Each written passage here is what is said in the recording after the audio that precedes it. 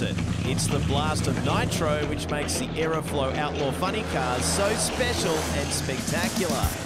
And with that blast of nitro comes a huge amount of horsepower. And this team, Daniel and Greg Schultz with the General, know all too well the nitro tightrope that they walk with this car. As you can see from previous rounds in Perth, this car has been launching hard and carrying the front wheels.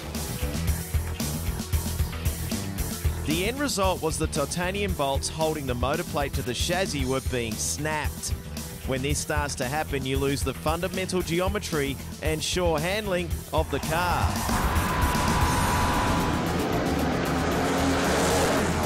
So the team decided they needed to move the engine forward just five centimetres in this car to help calm the front end down.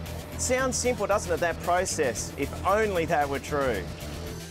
The first step was to chop the chassis in front of the steering box with a more nimble and flexible design. Then, once you commit to changing engine position, you change everything else connected to it. The drive shaft needs to be extended. All hoses and fittings need to be replumbed to connect to the new engine location. The funny car body may need adjustments to make sure it closes down properly where the supercharger sits on your relocated engine.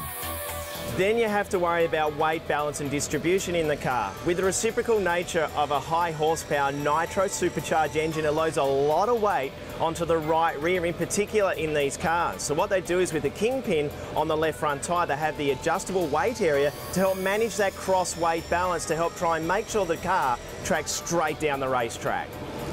There's as much as 30 kilos in weight distribution difference in the rear tyres, just to make the car track straight during a racing pass. Again, any motor location adjustment means you need to readjust this weight. The Aeroflow Nitro Funny Cars really are tiptoeing down a tightrope at over 400 Ks in one amazing show of skill and speed.